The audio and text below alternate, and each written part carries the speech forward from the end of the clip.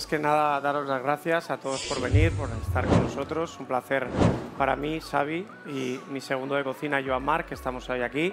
En este caso, para que veáis la importancia que tiene la seta para nosotros y allí, que incluso tenemos un menú específico de temporada relacionado con la seta, ¿vale?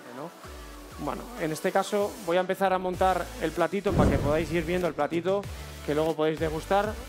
Vale, el ravioli y la pasta es una pasta de yema. Nosotros solo utilizamos yema del huevo ¿vale? Fresca, harina, hacemos la pasta el día anterior, lo dejamos al vacío hidratar de un día para otro en cámara y si hemos hecho la masa ayer para hoy, pues hoy las tiramos, formamos el relleno, ahora explico en qué consiste y lo que hacemos es pues formar los raviolis.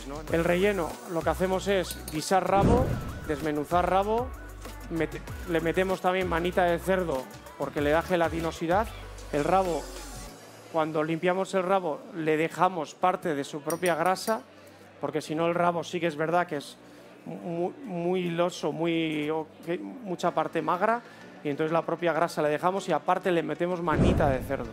¿vale? Hacemos un sofrito de cebolleta súper pochada, cebolleta tierna muy pochada, ahí metemos después toda la carne, luego metemos caldo de rabo que guise todo bien, luego tenemos el crujiente de boletus, ¿vale? Que es una masa de harina, la crema de, una cremita de boletus, que la horneamos y veis que le damos esta forma y la propia crema de boletus que también le pondremos un poquito encima y luego el ravioli lo acompañamos con unos daditos de papada ibérica la limpiamos, le quitamos la piel, le quitamos los bordes, le quitamos los extremos y le quitamos la parte magra, porque la parte magra cuando coge calor se queda como más chiclosa, más hilosa en boca.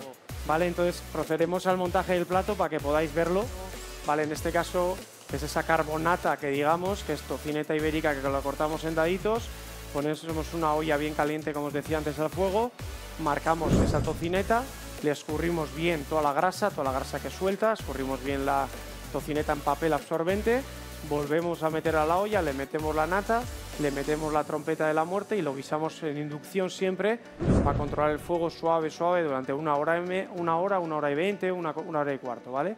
Lo retiramos del fuego, lo infusionamos, lo colamos y le metemos un poquito de queso parmesano también.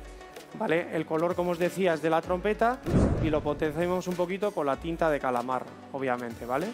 Lo que ponemos es un poquito de la espuma de, de trompeta Encima de la espuma, con mucho cuidado, colocaríamos el ravioli, que como veis, el color de la pasta y la glasa ya se ve el brillo que tiene.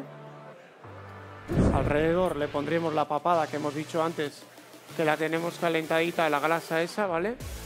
Luego, la esfera que tengo aquí, la esfera simplemente, aquí la hemos calentado al, eh, microondas un poquito, en, suero que hacemos también con queso. Lo que hacemos es rallar queso parmesano, y azábal, el queso que se vaya a utilizar, porque cada vez que se hace una esfera de este tipo, la esfera es como una llama huevo, absorbe, digamos, el líquido, el medio donde está introducido.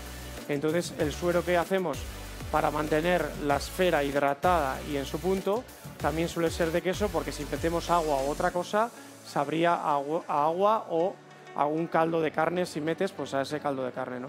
Encima de la esfera le coloco un poquito de pimienta espelet, que da unos matices como picantitos, como ahumaditos a pimiento de espelet. El pimiento de espelet y le, le comemos un poquito encima de la esfera.